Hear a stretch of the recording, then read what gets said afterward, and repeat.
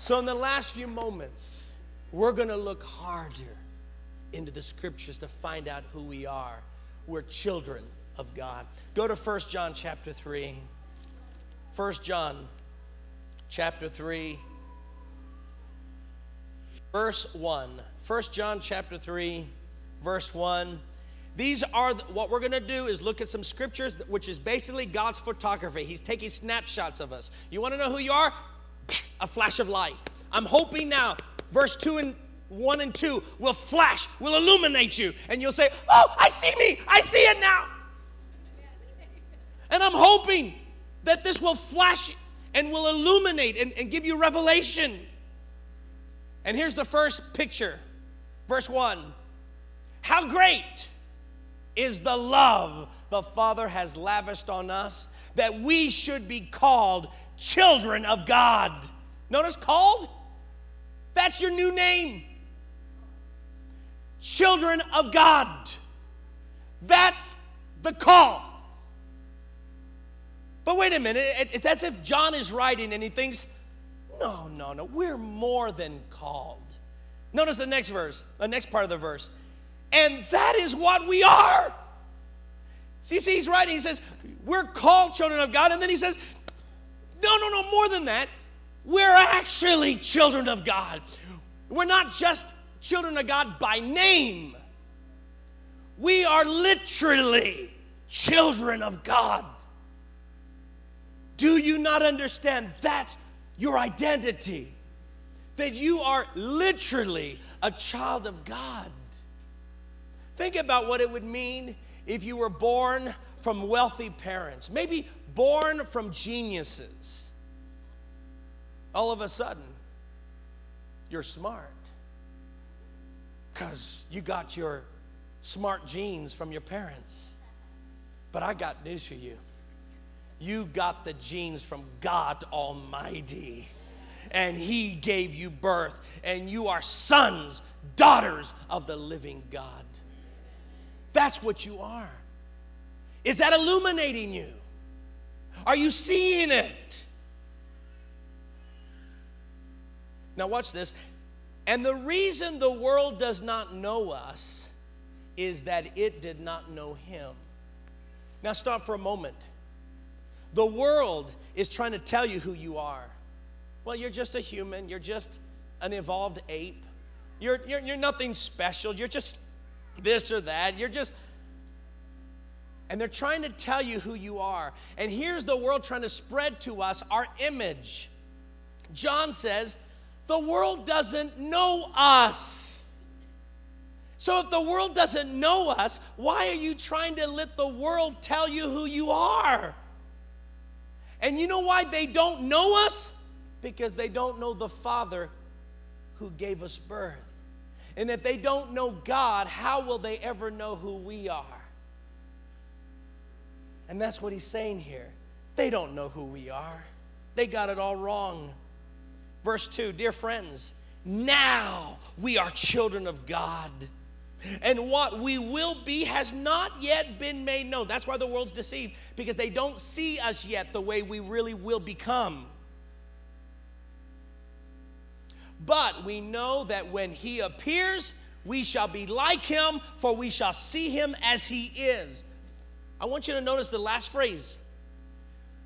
We shall be like him because, for we shall see him as he is. You know what he's saying? The more you see who Christ is, the more you see who you are. Goes back to the Lion King. You've forgotten who you are because you have forgotten me. And at once, Simba's offended. I haven't forgotten you, Father. And many of us are just like that. Oh, no, no, I know God. I just don't know myself. No, friend, if you don't know God, you don't know yourself. And if you don't know yourself, it's proof you don't know Him. And what you need to do is look at Jesus and say, you know what? I know who He is. Oh, He's wonderful. He's powerful. He's the wisdom of God. He's the light of the world. And the more you recognize Him, you know what you're doing? You're looking at the reflection and instead of seeing you, you see Him. But when you see Him, you do see you. Pastor, that's blasphemous. Are you saying I'm Jesus? No, but I'm going to show you what you are. Look at chapter 4 of this same book. Chapter 4, verse 17. In this way, love is made complete among us so that we will have confidence on the day of judgment. Watch this. Because in this world we are like him. Or as the New King James puts it, because as he is, so are we in this world. So if I see him, I see me. No, Pastor, that's blasphemous because I could never be like Jesus. That's the problem. The world told you you can never be like him, and you bought into the lie. People have told you you'll never be like Jesus, and you believed it. And you need to stop that and say, No, if I am God's child, then I can be like my Father. I can be like His Son. As He is, so am I in this world.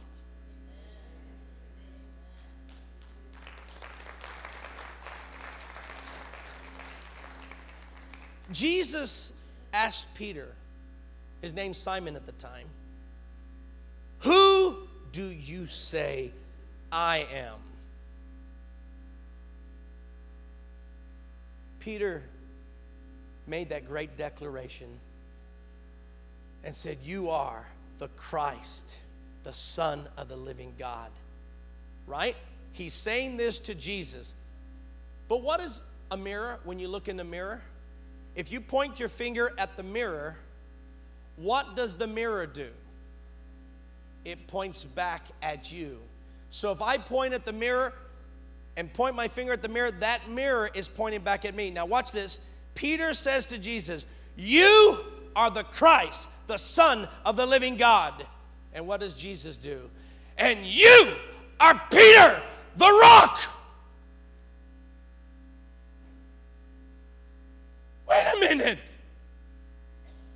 Do you see Peter say, You're the Christ, you're the rock?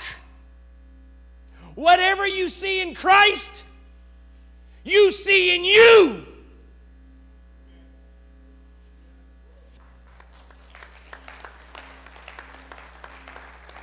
And that's when Jesus said, And upon this rock I'll build my church, and the gates of hell shall not prevail.